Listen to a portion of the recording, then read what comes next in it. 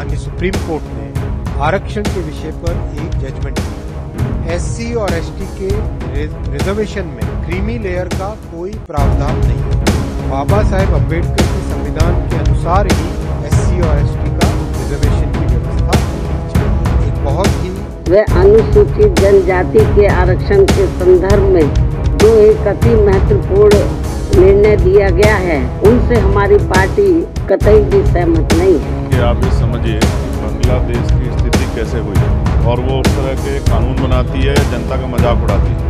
सरकार विफल होगी तो उसका खामियाजा भुगतना पड़ेगा। कुचलने के बजाय विरोध में चर्चा करके उसको कम करने का काम करना दोस्तों सुप्रीम कोर्ट की एस सी पर टिप्पणी के बाद सोशल मीडिया से लेकर सियासी गलियारों में एक भूचाल सा था।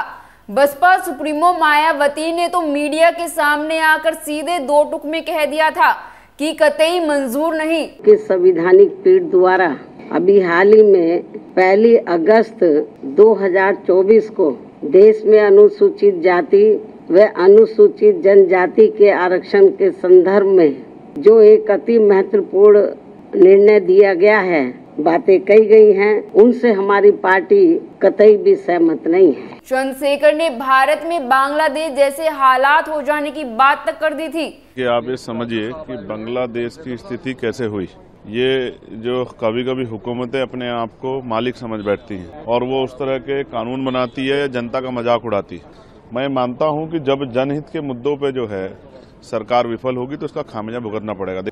हमें ध्यान रखना चाहिए कि उसका किसी तरह का नुकसान हमारे देश में ना हो। और उस तरह की कोई आशंका या उस तरह की जो है कोई मूवमेंट हमारे देश में ना हो तो विरोध को कुचलने के बजाय, विरोध पे चर्चा करके उसको कम करने का काम करना चाहिए। हाल ये था कि खुद बीजेपी दलित विधायक सांसद तक बिफर पड़े थे। यानी बाहर से लेकर अंदर तक मोदी सरकार पर एक बहुत बड़ा सियासी दबाव था।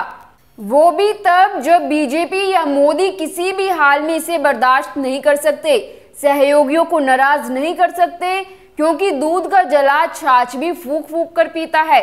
2024 लोकसभा चुनाव में संविधान बचाओ के नारे से जो सियासत सुलगी थी, उसमें बीजेपी मानो स्वासी हो गई। यूपी सरीखे सबसे बड़े राज्य में एक धड़ाम हो गई। आधी सीटों पर आ गई। बहुमत से दूर हो गई और अब फिर से बवंडर मचा है। सुप्रीम कोर्ट के इस फैसले के सहारे संविधान खत्म करने की साजिश के आरोप फिर से लग रहे हैं। तो मोदी सरकार ने ले लिया है बड़ा फैसला। सुप्रीम कोर्ट का फैसला बदलेगी मोदी सरकार। सांसदों के आगे झुकने पर मजबूर हुई मोदी सरकार। नमस्कार दोस्तों, मैं हिमांशी कश्यप, आपके साथ आप देख रहे हैं जनता की आवाज़। आगे बढ़ने से पहले इस वीडियो को लाइक करें शेयर करें और अगर पहली बार जनता की आवाज़ न्यूज़ चैनल को देख रहे हैं तो चैनल को सब्सक्राइब भी करें और घंटी ज़रूर बजाए चैनल की भी और सरकार की भी। आज की नेशनल मीडिया के मुकाबले में जनता का साथ दीजिए और उसकी ताकत बनिए जनता की आवाज़ बनिए और हो सके तो इसके लिए चैनल को ज्वाइन भी करें। केंद्र सरकार ने सुप्रीम कोर्ट के हाल के उस फैसले को खारिज कर दिया है, जिसमें अनुसूचित जाति, अनुसूचित जनजाति आरक्षण के दायरे से क्रीमी लेयर को बाहर करने का आदेश दिया गया था। केंद्रीय कैबिनेट ने शुक्रवार को इसे इस दलील के साथ खारिज किया कि बी आर अंबेडकर के संविधान एस सी आरक्षण में क्रीमी लेयर का कोई प्रावधान नहीं है। आपको बता दें कि सरकार क्रीमी लेयर को आरक्षण जारी रखने पर झुक तो गई है, लेकिन बतौर पार्टी यानी भाजपा ने अभी तक साफ़ नहीं किया है कि वो सुप्रीम कोर्ट के फैसले को खारिज करती है। बीजेपी ने 1 अगस्त के फैसले पर अभी तक आधिकारिक तौर पर अपना रुख नहीं बताया। एनडीए के सहयोगी दल एलजेपी रामविलास ने इस फैसले पर खुलकर असहमति जताई थी। और कहा कि वह सुप्रीम कोर्ट के फैसले पर समीक्षा याचिका दायर करेगी। यह घटनाक्रम शुक्रवार को तब सामने आया जब भाजपा के लोकसभा और राज्यसभा के एस सी सांसदों ने पीएम मोदी से मुलाकात की और सुप्रीम फैसले पर आपत्ति जताई। तब उन्हें आश्वासन दिया गया कि क्रीमी लेयर को बाहर करने की सुप्रीम कोर्ट के फैसले पर कोई कदम नहीं उठाया जाएगा। इस तरह शुक्रवार को सरकार के झुकने का दूसरा दिन था। इससे पहले गुरुवार को वो वक्त बिल पर झुक गई थी, जब सरकार को समर्थन दे रहे टीडीपी और एलजेपी रामविलास पासवान ने इस बिल का विरोध कर दिया था। यह बिल अब संसदीय समिति को भेज दिया गया है। दरअसल सुप्रीम कोर्ट की संविधान पीठ ने 1 अगस्त को 6 एक बहुमत के फैसले में कहा कि अनुसूचित जातियाँ सामाजिक रूप से सजातीय वर्ग नहीं है। और उन्हें आरक्षण देने के मकसद से राज्य उन्हें उपजातियों में वर्गीकृत कर सकते हैं। जो दलित जातियाँ हाशिए पर है, उन्हें आरक्षण का लाभ दिया जा सकता है। चार जजों ने एस सी कोटे से क्रीमी लेयर को बाहर करने का समर्थन किया।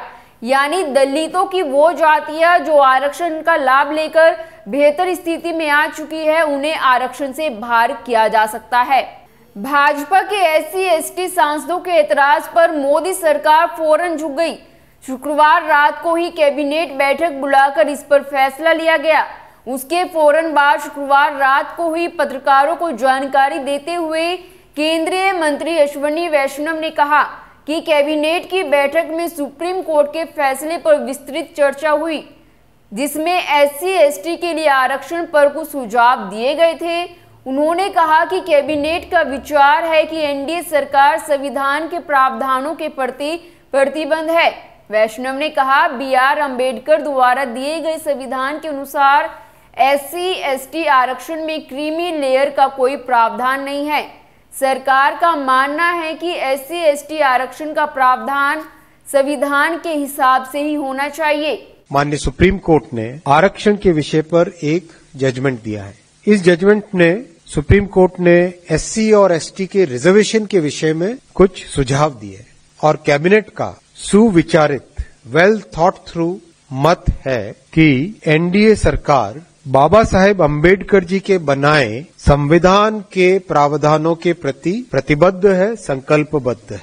बाबा साहेब अंबेडकर जी के संविधान के अनुसार एससी और एसटी के रिजर्वेशन में क्रीमी लेयर का कोई प्रावधान नहीं है। कैबिनेट का सुविचारित मत है। वेल थॉट थ्रू डिसीज़न है कि बाबा साहेब अंबेडकर के संविधान के अनुसार ही एससी और एसटी का रिजर्वेशन की व्यवस्था होनी चाहिए। कुल मिलाकर सरकार ने स्पष्ट कर दिया कि आरक्षण की मौजूदा व्यवस्था में छेड़छाड़ का उसका कोई इरादा नहीं है। जैसा है, चलता रहेगा।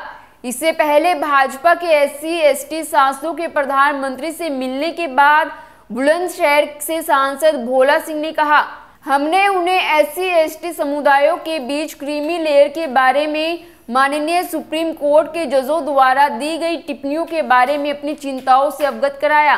पीएम मोदी ने आश्वासन दिया है कि सरकार कोई कदम नहीं उठाएगी। और दोहराया कि वह एससी और एसटी समुदायों के कल्याण के लिए खड़ी है। वहीं पीएम मोदी ने एक्स पर कहा, आज एससी, एसटी सांसदों के साथ एक प्रतिनिधि मंडल से मुलाकात की। एस सी समुदायों के कल्याण और सशक्तिकरण के लिए हमारी प्रतिबद्धता और संकल्प दोहराया। हिमाचल प्रदेश से बीजेपी सांसद सुरेश कुमार कश्यप ने कहा कि पीएम के साथ हमारी बैठक का यही एकमात्र एजेंडा था। सांसद सुरेश ने कहा, हम केवल ज्ञापन देने के लिए प्रधानमंत्री से मिले, लेकिन उन्होंने हमें आश्वासन दिया कि सरकार इस दिशा में कोई कदम नहीं उठाएगी। प्रधानमंत्री ने हमसे कहा कि अदालत ने जो कहा, वो केवल एक टिप्पणी है और सरकार पर बाध्यकारी नहीं है। यानी सरकार उसे मानने के लिए मजबूर नहीं है। दिल्ली से भाजपा सांसद योगेंद्र चंदोलिया ने कहा, यह टिप्पणी फैसले का हिस्सा नहीं थी। लेकिन हमारे विरोधी अफवाह फैला रहे हैं कि भाजपा के नेतृत्व वाली सरकार क्रीमी लेयर को बाहर करना चाहती है। इसलिए हमने औपचारिक रूप से प्रधानमंत्री से मुलाकात की, जिन्होंने हमें आश्वासन दिया कि एस सी से क्रीमी लेयर को बाहर करने का कोई सवाल ही नहीं है। भाजपा हमारे पार्टी अध्यक्ष और प्रधानमंत्री सभी इस मुद्दे पर एकमत है। मोदी सरकार के इस फैसले पर बसपा सुप्रीमो मायावती ने खुशी ज़ाहिर की है। दोस्तों एस सी कोटे पर सरकार का झुकना महत्वपूर्ण है, क्योंकि आरएसएस और भाजपा का कई बार यह रुख आया है कि वो आरक्षण पर अलग राय रखते हैं। आरएसएस प्रमुख मोहन भागवत ने कम से कम दो मौकों पर कहा कि आरक्षण की समीक्षा होनी चाहिए। इसका जब ज़बरदस्त विरोध हुआ और चुनाव समीकरण के कारण आरएसएस को यह बयान वापस लेना पड़ा। लेकिन संघ के मुखपत्र में भागवत का वो इंटरव्यू आज भी मौजूद है। भारत की स्वर्ण जातियों की लंबे समय से यह मांग है कि आरक्षण खत्म किया जाए और योग्यता के आधार पर लोगों को दिया जाए। भारत की स्वर्ण जातियों की लंबे समय से यह मांग है कि आरक्षण खत्म किया जाए और योग्यता के आधार पर लोगों को नौकरियाँ और शिक्षण संस्थाओं में प्रवेश मिले। दलित समुदाय इस मांग के खिलाफ है, क्योंकि भाजपा के पास वर्ण जातियों का सबसे बड़ा वोट बैंक है। इसलिए अन्य राजनीतिक दल उसे हमेशा आरक्षण विरोधी नज़र से देखते हैं। खैर, आपकी इस पर क्या राय है, हमें कमेंट कर ज़रूर बताएँ और बाकी खबरों के लिए देखते रहिए जनता की आवाज़।